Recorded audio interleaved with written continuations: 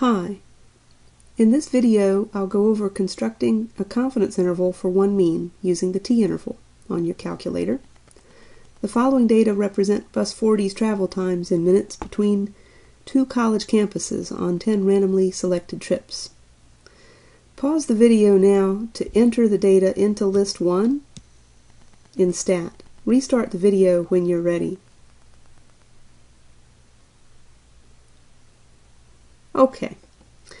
You'll notice here that we just have a sample size of 10. This is a relatively small sample, so before proceeding with the t-interval, I'd like to check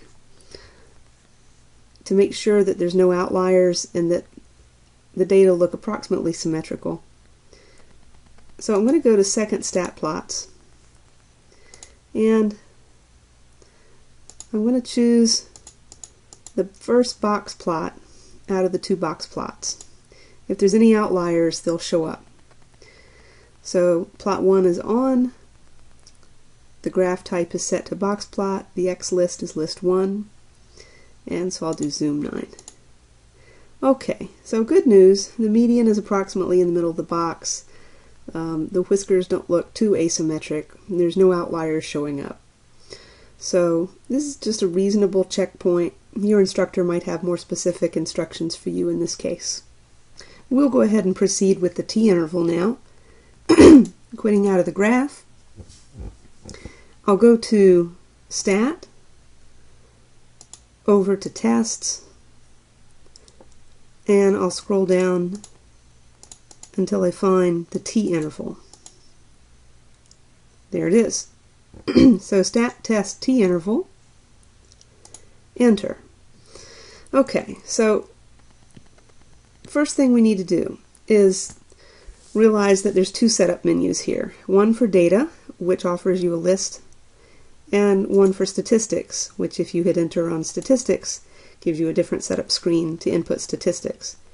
In our problem, however, we are given the raw data, which you had put into list 1. So make sure data is selected.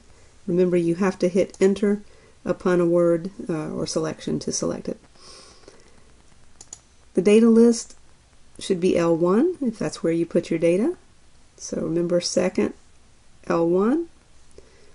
Frequency is just a 1. Confidence level, we want 95%.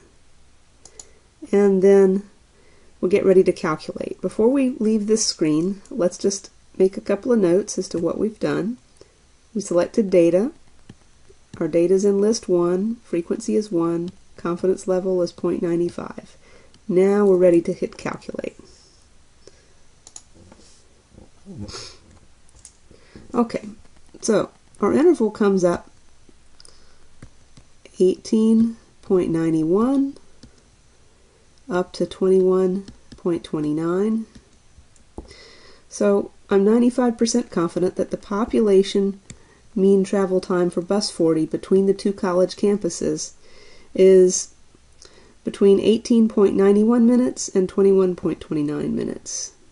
So you can more roughly interpret this to um, close to 19 to 21 and a half minutes. I hope this has been helpful. This concludes this video.